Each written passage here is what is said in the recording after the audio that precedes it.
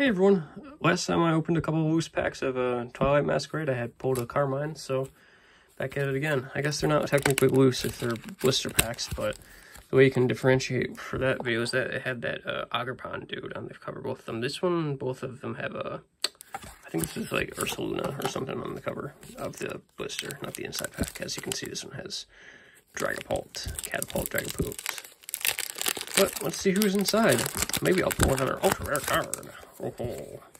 Shinx. Why is he like sticking his butt out? Clefairy. What's in the background there? Interesting. Vroom. Volbeat. Ariados. Oh, okay. Accompanying flute. Slurpuff, swirping the um, ice cream up, I guess. I guess a scoop up cyclone.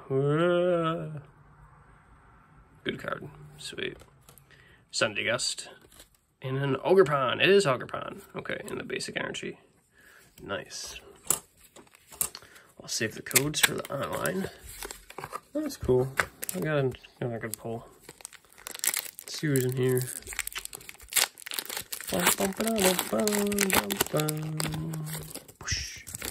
Another Clefairy. Oh my goodness. No, I have two of them. This is awesome. Another Shinx. Whoa.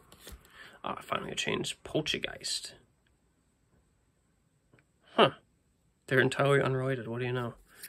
To the Sinistea. Another room. How many Pokemon are in this region? Not too many, apparently. Cramorant. Curon. Sunflora. Hassel. And a Poliwag. And a Munkidori.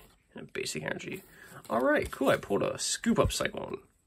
Nice. With that, I'd like to thank you all for watching. And I'll see y'all in the next one. Bye.